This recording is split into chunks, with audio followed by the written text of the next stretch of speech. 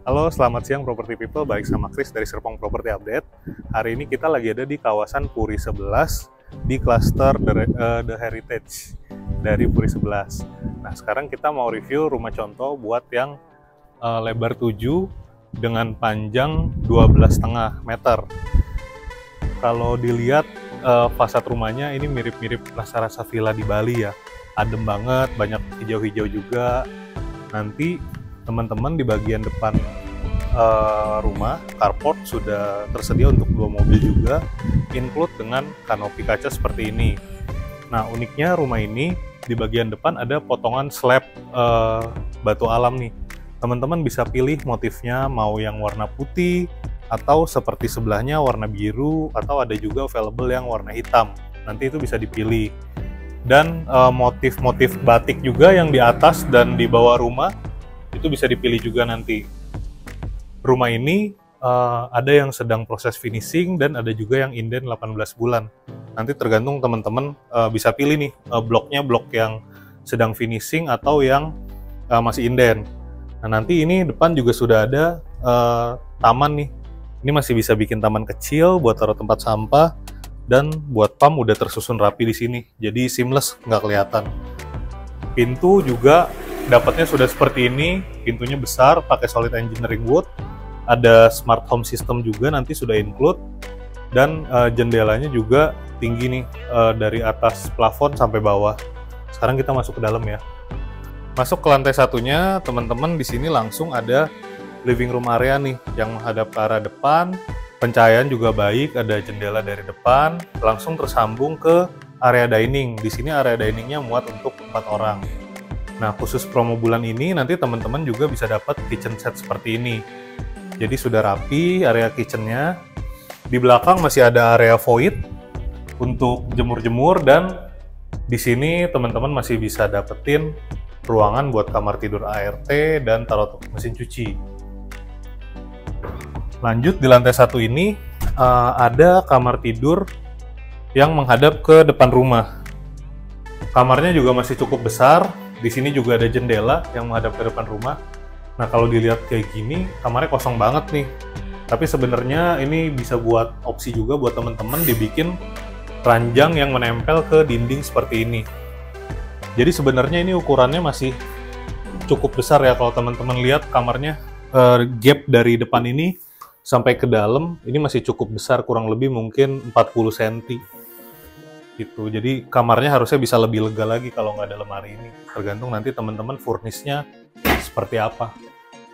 Lanjut ke kamar mandi yang di bawah tangga.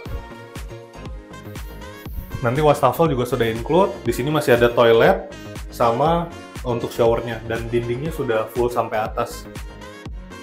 Lantai nanti teman-teman dapat lantai homogeneous tiles seperti ini ya. Jadi panjang 60 kali 120 Eh, motif-motif uh, mirip marmer nih. Sekarang ke lantai 2. Kita sampai di lantai 2, di sini ada tiga kamar tidur. Jadi totalnya sama kamar tidur bawah itu ada empat kamar tidur. Untuk kamar tidur anak, kita ke yang belakang dulu. Kalau yang di sini dibikinnya lebih memanjang nih. Memanjang, di sini juga lemari sudah tersusun rapi, masih muat taruh meja rias sama ada bukaan jendela ke arah void. Jadi kalau butuh udara bisa buka juga. Pencahayaan juga baik. Terus nanti lantai juga sudah dapat laminated wood seperti ini. Jadi uh, di dalam kamar terasa lebih homey. Nah ini untuk kamar yang satunya lagi, ini jendelanya lebih besar nih. Ada tiga jendela, semuanya ada bukaannya. Jadi lebih udara bisa masuk lebih banyak masih muat buat naruh ranjang yang 160 sama di sini juga masih ada lemari. Nah, ini master bedroom menghadap ke arah depan rumah. Oh, sebelum ke master bedroom ini ada kamar kamar mandi anak dulu. Dia unik nih, di bagian sininya ada skylight dari lantai tiganya. Jadi pencahayaannya siang hari pun di situ akan tetap ada cahaya. Ke master bedroom, walaupun lebar 7 ini kamarnya hampir selebar rumah, selebar rumah deh kayaknya. Masih ada bukaan jendela ke arah depan rumah. Di sini juga jarak dari tempat tidur ke arah area TV masih cukup besar. Bahkan nantinya ini eh, nggak uh, ada nih teman-teman, jadi ini cuma permainan furnis aja. Jadi sebenarnya plong. Cuma untuk inspirasi teman-teman bisa dibikin walk-in closet seperti ini. Dibikin depan belakang atau letter L sebenarnya bisa juga. Kalau nggak bikin meja rias. Di sini juga masih ada jendela, tapi ini jendela mati menghadap depan untuk pencahayaan aja. Nah, ini kamar mandi master bedroomnya. Udah enak banget nih showernya. Teman-teman ada pilihan shower yang rain shower atau biasa. Terus sama masih dapat uh, skylight juga dari atas sanitarinya semua udah pakai Kohler jadi rumah premium banget sebenarnya untuk spesifikasinya. Kita lanjut ke rooftop di atas. Nah ini untuk area rooftop. Jadi ada ruangan di sini, ada pintu kacanya juga yang menghadap ke arah depan. Jadi kalau teman-teman mau main di rooftop tapi nggak mau panas-panasin panas-panasan di depan, bisa di dalam ruangan aja. Di sini juga buat inspirasi bisa dibikin uh, kitchen di lantai rooftopnya seperti ini. Jadi kalau keluarga ngumpul-ngumpul di depan, ada yang bisa masak juga di sini.